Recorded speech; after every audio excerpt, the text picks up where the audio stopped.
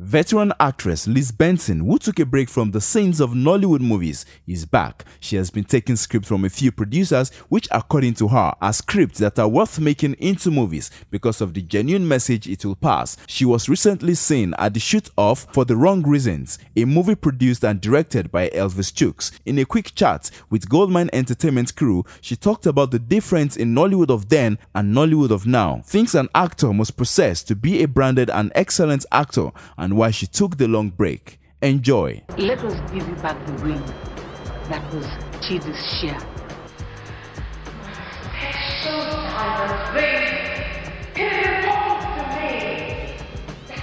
My wedding gift from my husband. Who died very young. He just his only vital thing. His my miserable life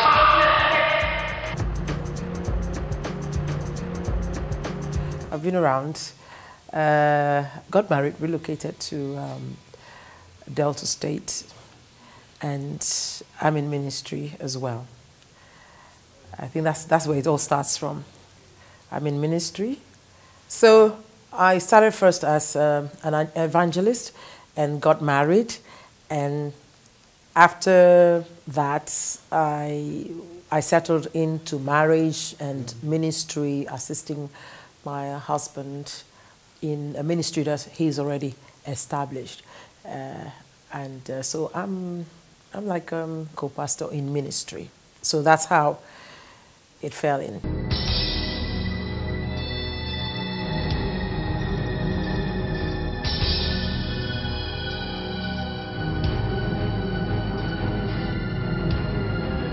Somebody is coming. I think most what most people need to know is that um, um, the performing arts industry is not it's not like any other ministry or industry where you say, "Oh, I have retired."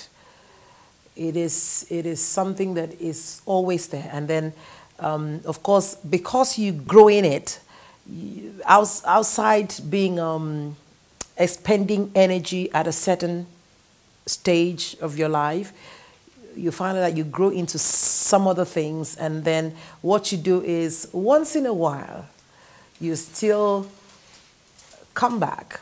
Not you, but you're invited to come and do this thing that has been your love, this thing that you've had passion for.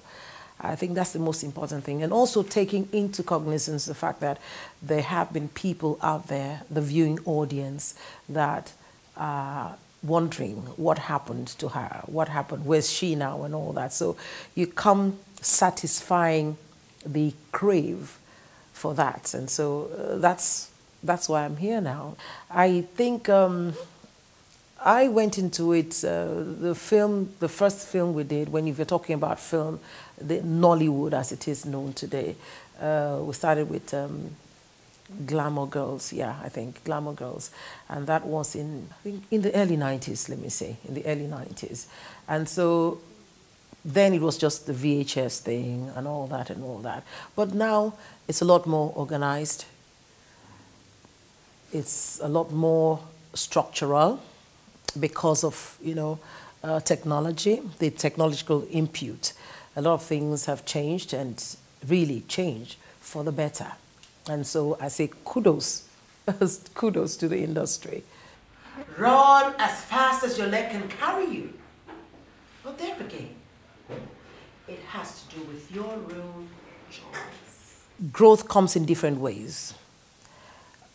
I think that as of now, what we outside, you know, get having the equipment, you know, the right kind of equipments to work with.